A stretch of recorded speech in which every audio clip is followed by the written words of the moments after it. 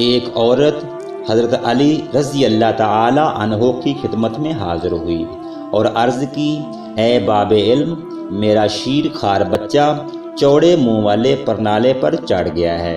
अगर उसको अपने हाल पर छोड़ती हूँ तो डर है कि कहीं परनाले के अंदर ना जा गिरे। और अगर डराती हूँ तो उसको इस नफ़ा नुकसान समझने का शूर नहीं है। मैंने उसको बार बार दूध भी दिखाया है, लेकिन वो मेरी तरफ़ रुख ही नहीं करता। खुदा के लिए मेरी मुश्किल हाल कीजिए। कहीं मैं अपने लखते जिगर से हाथ ना धो बैठूं।